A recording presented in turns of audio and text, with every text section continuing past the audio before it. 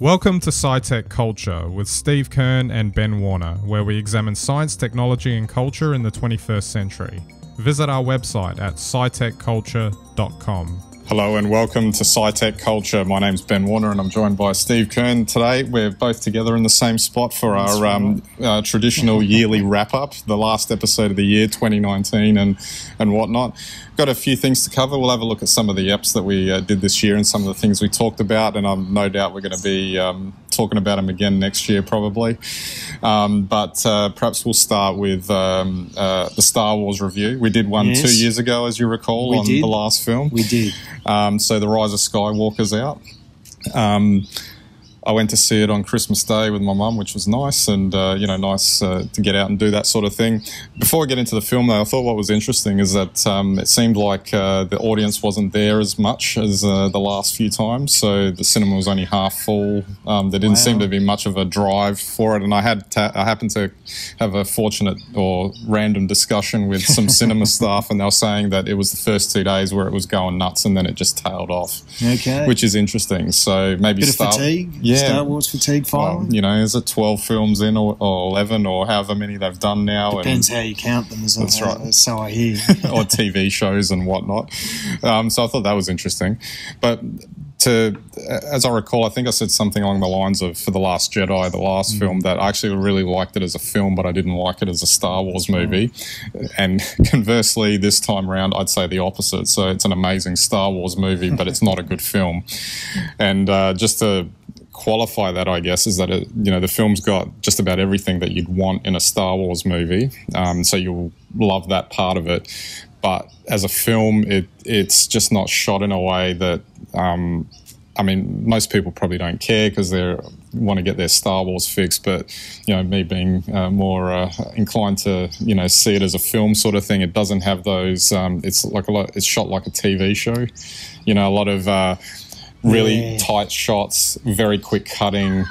Even when you do get those grand vistas and whatnot, um, that they're cut away from so quickly, and that's why I really appreciated from the last film was that the last film actually had those. Like it had good pacing, it had good cinematic pacing, it had good um, uh, visuals, etc. It's just that what they did with the Star Wars elements were contentious and possibly not advised, well advised, shall we say? okay, and I hear that they uh, solved all that just by blowing them out of the water in this film. Yeah, that's right. Um, retconning the whole thing.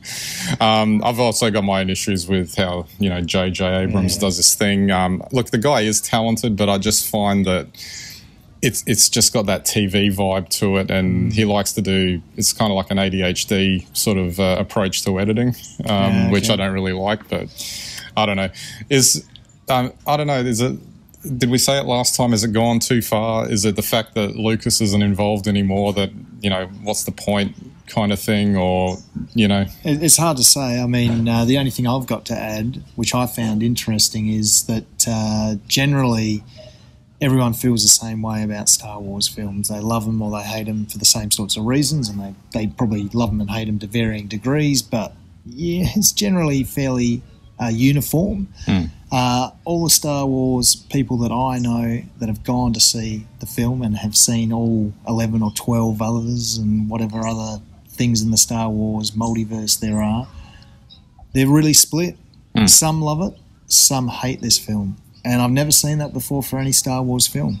Yeah. So that's just that's just an interesting point. So maybe that's just a sign that it's gone as far as it can yeah, and it's not really well there's nowhere left for star wars to go when the fans start loving and hating in equal measures then we wonder Yeah. and it's a sample size of uh, five yeah, exactly, exactly. I don't know. Go out, check it out. I'm sure, uh, sure you'll enjoy it. I personally loved uh, the Return of the Emperor in the film because he's po- quite possibly the most evil he's ever been. But that's the thing; like they, you can tell they brought him back to keep the fans happy, and because he's such a beloved character. and some of the other, and the way they did some of the story arcs and whatever. I guess you know would give you some closure, somewhat. I guess even if it all felt kind of rushed in the end. now just very quickly then uh, princess leia did it work or not Um, it felt a bit token to me the way that she was inserted, but it wasn't like bad. Um, so her, they found a way to use the old footage to, you know, serve a story purpose, and Did she it get did. paid? Well, that's the thing. I don't know. The estate, um, the kids were happy to allow the footage to be used. It I was guess shot in the last movie, though. two movies ago, Two actually. movies ago. So, Yeah. yeah, I, I don't know. Yeah, so I didn't. I know that that's that's sort of been a point of contention as well about how well that worked, but I didn't find it offensive. Um, I don't know if I loved it, but uh, maybe that's my whole approach to these things now. Alrighty. Um, all right. So, as is customary for the last episode of the year, we're just going to go through some of the things we discussed. Um, should actually point out that uh, this is the first time we've been back. Uh, what was the name of this uh, oval again? Well, this is actually uh, Goodwood.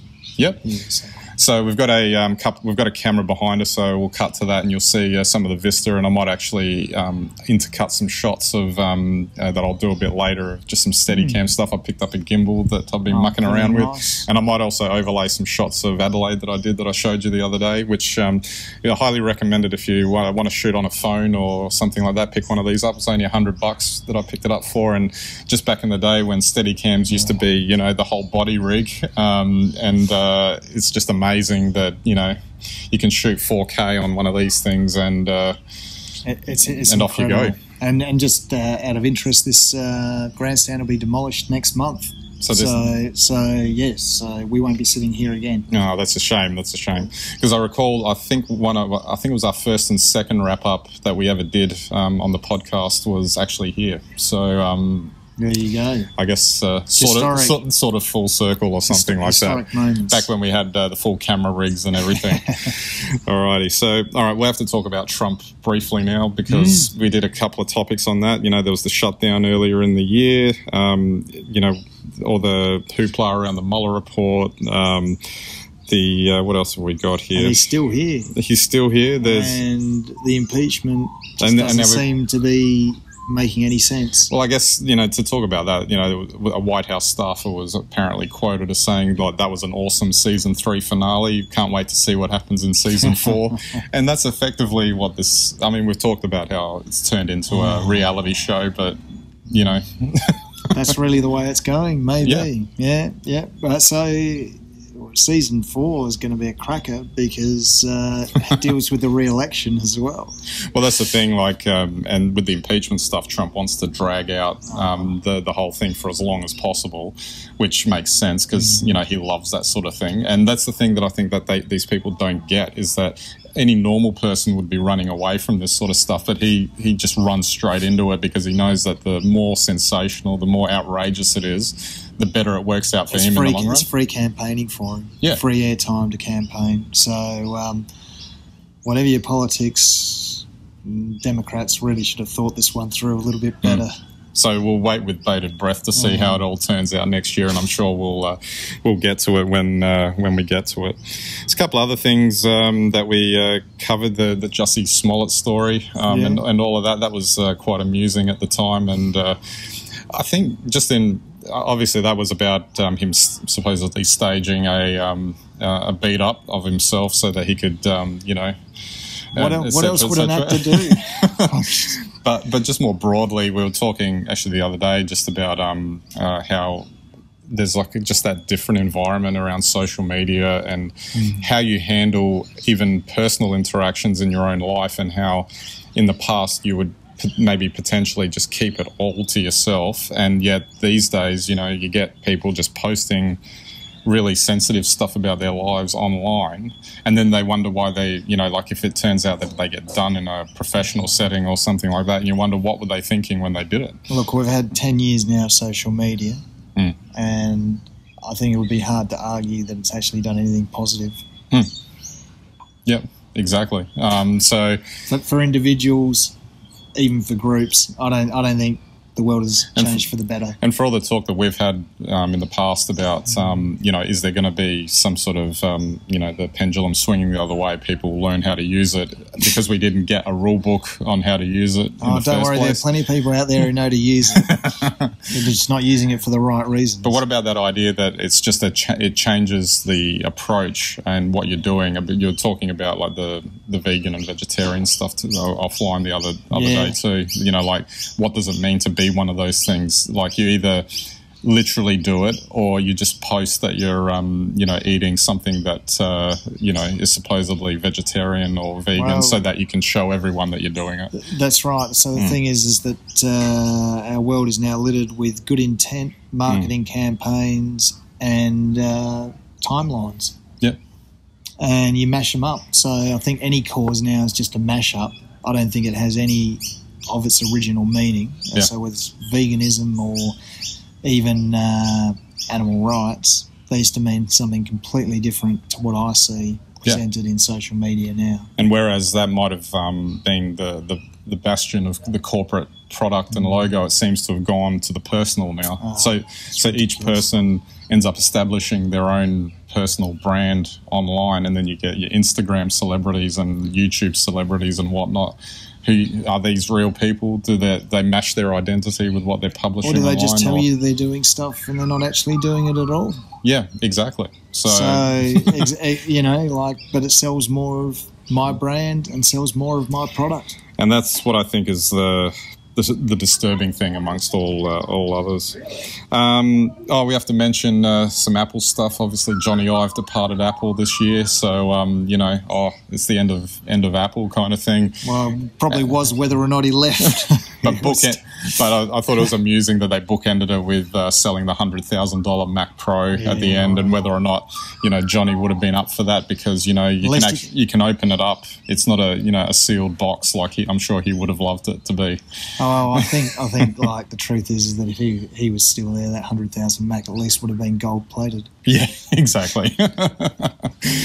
oh, yeah, and they would have sold the hundred. Yeah, the Yeah. hundred. No, I can't even remember the hundred thousand dollar version or the five hundred thousand dollar version that was gold plated because they did the watch that. Uh, That, that that's year. right. Yeah, yeah. It's that. But I look, I I think uh, to be quite honest, I think Apple's back to where it was uh, Hmm. before Steve Jobs came back the second time. Mm. Right now, and uh, I don't think for any by a second that they they're certainly better run these days, and they're Hmm. certainly probably more aware of what their business strategy is. But uh, it, Oh, ain't, it ain't what Apple was. Oh, they certainly know um, how to stay solvent, shall we say, compared to, to where they were then, um, with uh, so much cash in the bank and, and whatnot. But what is interesting is um, uh, it, it's like the embed, em, embedding of technology in life. So they're uh, an exemplar of it, but they're not the only company doing it, and it's just infiltrated everything. The fact is, is that you know we're talking about how it was like.